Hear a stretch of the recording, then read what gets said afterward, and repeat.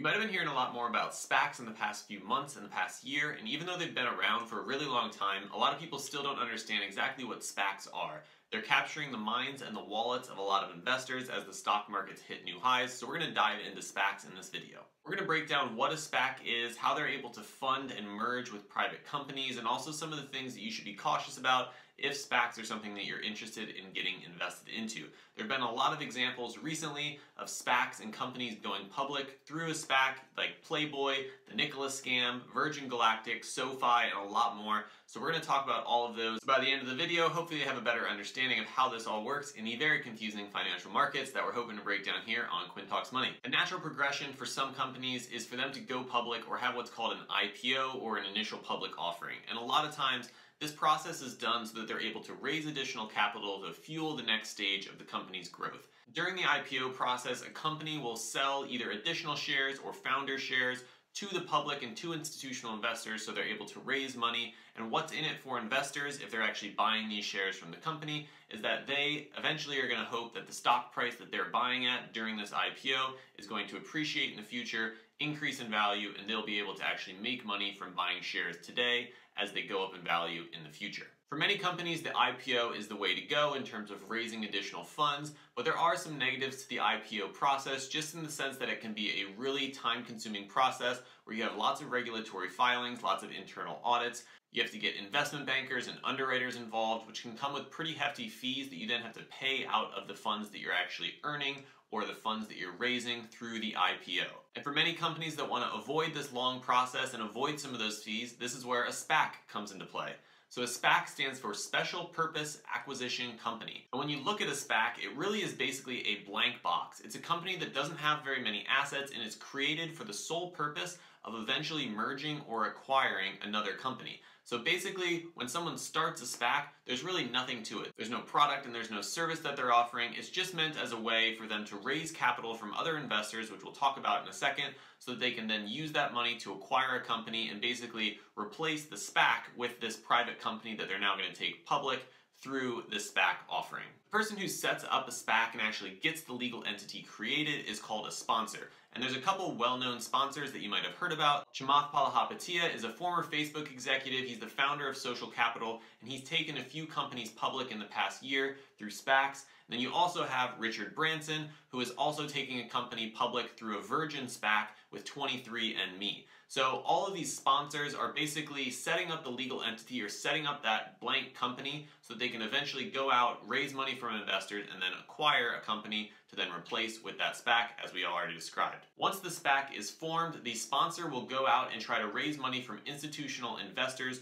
with the hope that in the next two years, they will be acquiring a private company to then take the place of the SPAC. They'll use the money that they raise from investors to then go buy that public company, and once they've actually gotten some of those funds or they see what interest they're able to get, the SPAC will then actually go through the IPO process. And so because the SPAC is going through the IPO process and they really don't have any assets, they don't have a product or service that they're offering, there's much less regulatory paperwork that they actually have to go through. The timeline is actually a lot quicker for them as well, and there's just a lot less overhead and fees that are associated with it. So basically now what you have is this SPAC, this blank check company or this empty box going public with pretty much nothing to offer other than the hope that eventually they will be acquiring another company to take its place. So that allows them to go onto the public market initially, have money eventually that they're going to then go buy a public company with, and they spend the next year, two years, usually there's about a two year commitment to actually go find this company, come to a deal, come to an agreement, and then allow that other company to merge. What you end up with is the SPAC now listed on the public market, listed on the stock exchanges, the sponsor has raised capital, and the sponsor is now going to go out to all these private companies. It's probably got a couple targets already in mind.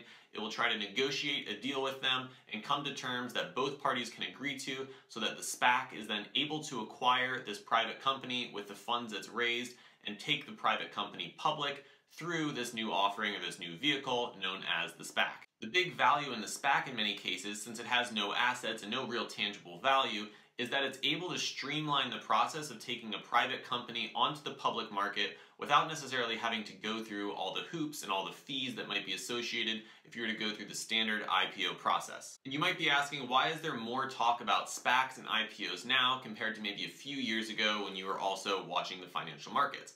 And a lot of times, when the markets are at all time highs, you'll see a large increase in the number of IPOs and the number of private companies that want to raise additional funds. And this is because as most people know, it's much better to raise money when the markets are good compared to trying to find new money to help fuel your business when markets are bad or the economy is bad. So in a case when the markets are at all-time highs, companies want to take advantage of this so that they can actually raise the most money at the best valuation rather than having to do it at a time when it might be disadvantageous to them or they might actually make less money by going public or having to raise more funds. A SPAC is an easier way for private companies to do this so they don't have to worry about potentially missing out on the high market by having to go through the long and tedious process of the IPO regulations and the IPO filing process. This is also why you see a lot of electric vehicle companies going public or at least exploring the option through SPACs because investor sentiment with EV companies is extremely high and a lot of the prices for currently public EV companies has appreciated quite a bit over the last few years. You have EV companies like Fisker Motors, Lucid Motors, Hyliion, and also Nikola that are taking advantage of the SPAC to allow them to get access to these funds a lot quicker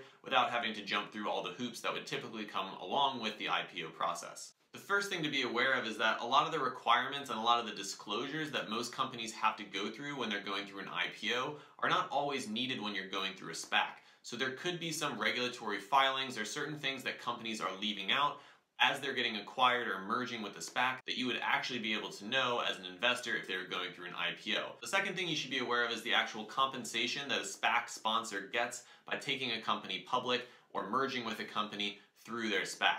So the SPAC sponsor or the person that's originally going to actually raise the money from institutional investors to then go acquire the company, they usually get about a 20% cut of the deal. So that's a pretty hefty fee right off the bat, and it's not tied to performance at all. So even though I'm sure there's a lot of really great people, really great sponsors out there, it's still something to be aware of that there's not really a performance-based metric. Once they actually take a company public or actually acquire or merge with a company and put it into the SPAC, they get a big payday, and you as the investor just have to hope at that point that the company will continue appreciating in value in the future so that your stock price goes up and you're able to see a profit or a gain in your investment because of these paydays, although again, this is not necessarily something that I'm sure happens all the time and it really will depend on the ethics and the morals of who the SPAC sponsor is, you could get into a situation where you might have a SPAC sponsor that's more worried or more concerned with getting their payday than buying a reputable and fundamentally sound company that's going to continue appreciating in value in the future.